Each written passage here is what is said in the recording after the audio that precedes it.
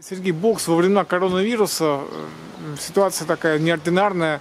Вот э, вечер, э, блин, сейчас готовится, завтра будет взвешивание. Вот боксеры проходили тест на коронавирус уже?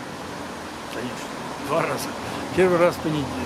Сейчас по правилам все согласуется, во-первых, с Сенатом.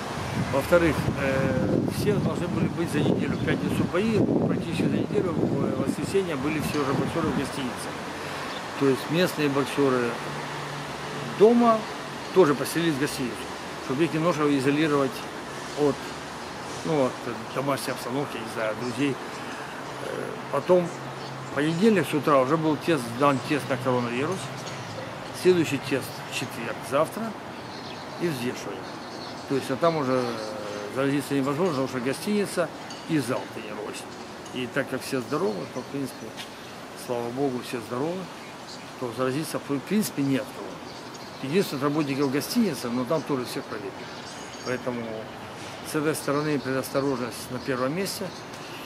Поэтому, как бы, очень даже меня так удивляет. Мы уже, как бы, я, честно говоря, тренировкой уже занимаемся, а раньше здоровались только боксеры. А сейчас уже нормально. Все сдали, как бы нет того напряжения. Даже как-то смешно получается. Это, честно говоря, вообще не будет сюда коронавируса, потому что это обыкновенный для меня, ну, как бы, ну, ну болезнь, да, ну, надо быть сильным, надо тренироваться, плавать и там, бегать, и тогда будет все нормально.